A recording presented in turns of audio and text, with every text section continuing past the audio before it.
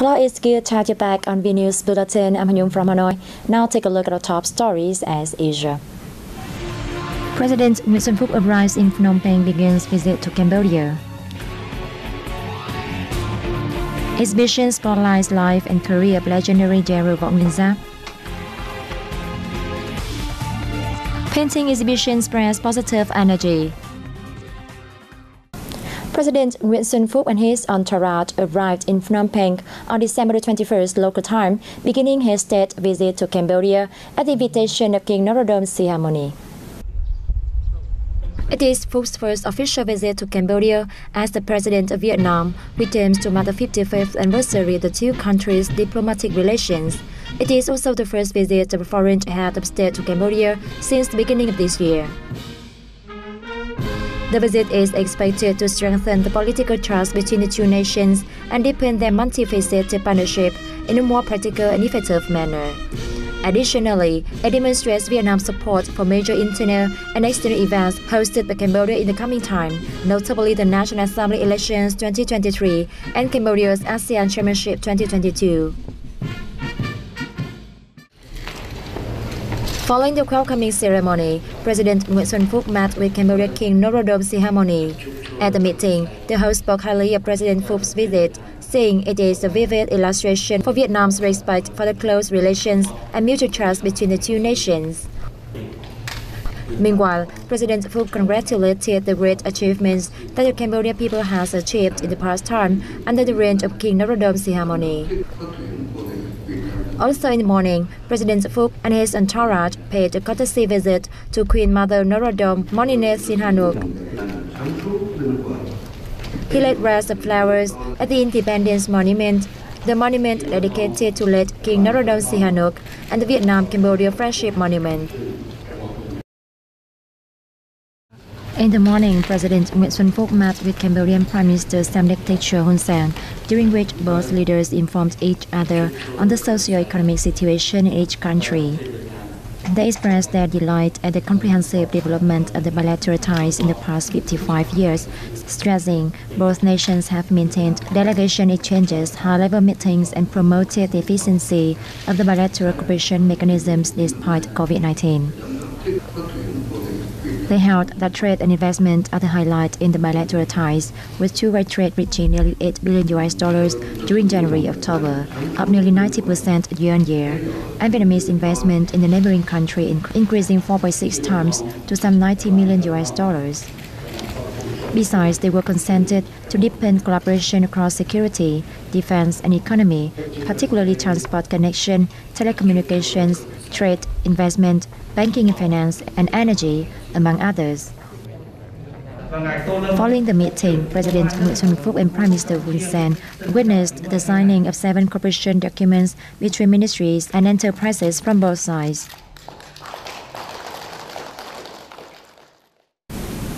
Prime Minister Phạm Minh Chính on December 21st chairs the National Conference on Implementing Judiciary Work in 2022. At the meeting, Prime Minister asked the Ministry of Justice to instill the people-centered approach in law building and enforcement in its personnel.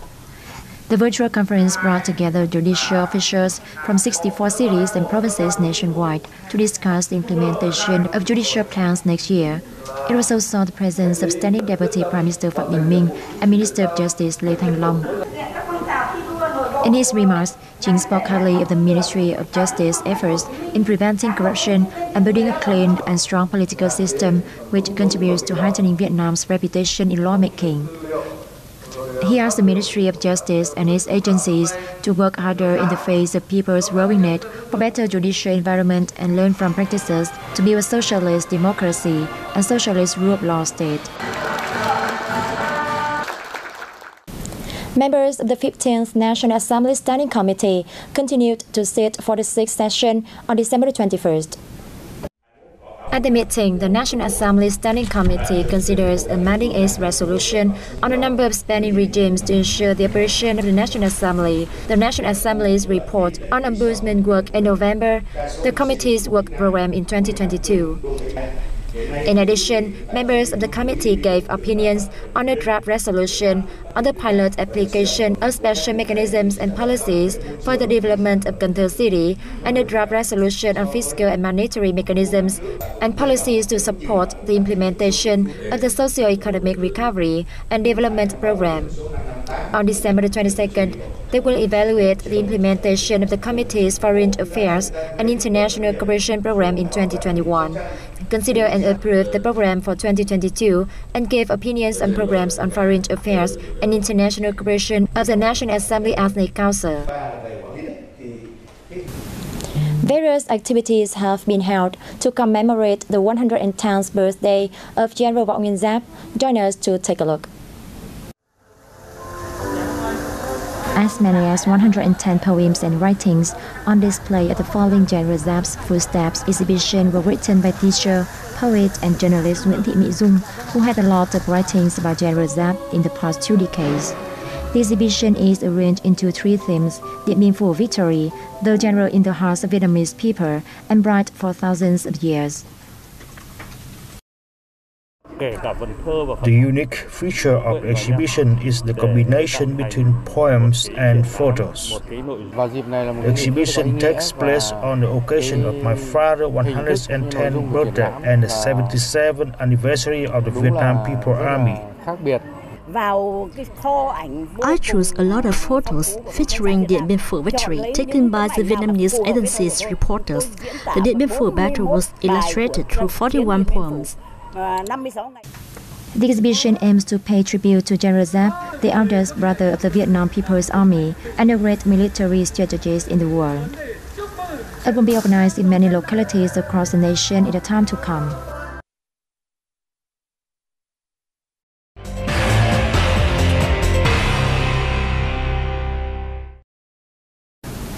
Vietnam's shrimp export earnings will hit around 3.9 billion US dollars this year, up 4% from 2020, according to the Vietnam Association of Seafood Exporters and Producers. Vietnam exported over 367 million US dollars worth of shrimp products in November, bringing the total export revenue in the first 11 months of the year to more than 3.5 billion US dollars, a year-on-year increase of 3.4%. Strongest growth was seen in exports to the US, EU, and Australia, while some other markets experienced stagnancy or slight decreases. The US remained Vietnam's largest importer, purchasing 28% of total exports during the period. It was followed by Japan with 15%. Shrimp exports to the EU has swiftly bounced back since October, with Vietnam being a major supplier to Germany, the Netherlands, and Belgium.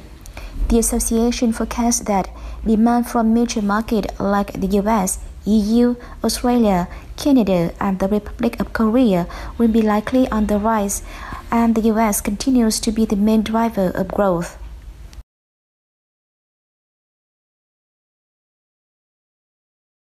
Three art packages will be carried out in 2022 to help promote digital transformation in Vietnamese enterprises, according to the Ministry of Planning and Investment.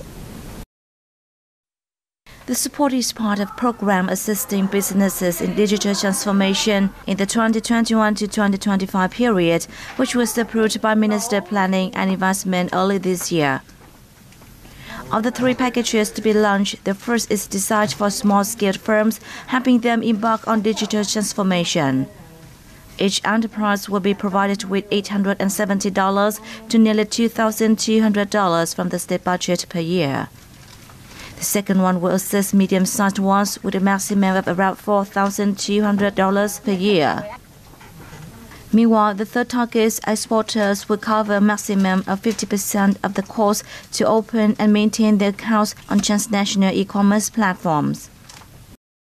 According to the Enterprise Development Agency under the ministry, despite many barriers and difficulties in digital transformation, Vietnamese businesses are holding numerous opportunities to boost the work. The chances come from changes in consumption behavior, the shift in global supply chains, and the surge in online transactions.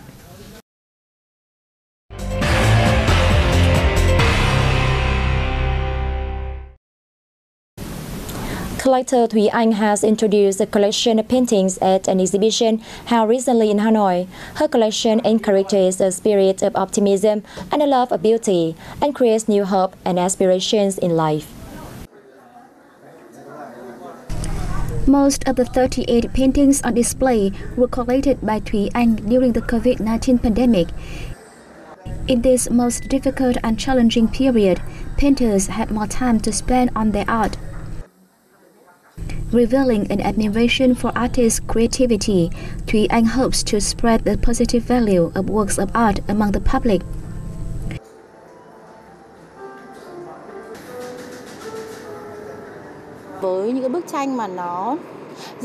People have had to face a lot of difficulties and losses in recent times due to the pandemic. The atmosphere has indeed been gloomy.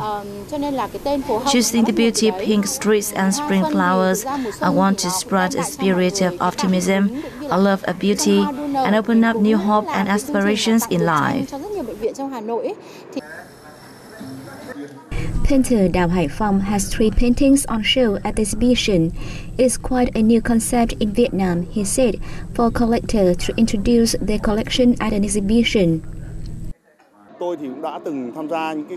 I've participated in exhibitions like this in foreign countries where collectors introduced the works of their favorite artists to the public. It's a very beautiful element of culture. In this time of pandemic, Thủy Anh's collection brings together generations of artists and creates a positive effect on society.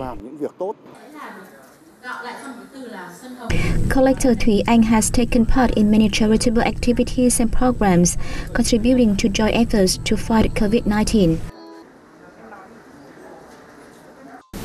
That is all for this hour. Thank you for tuning in and see you next time.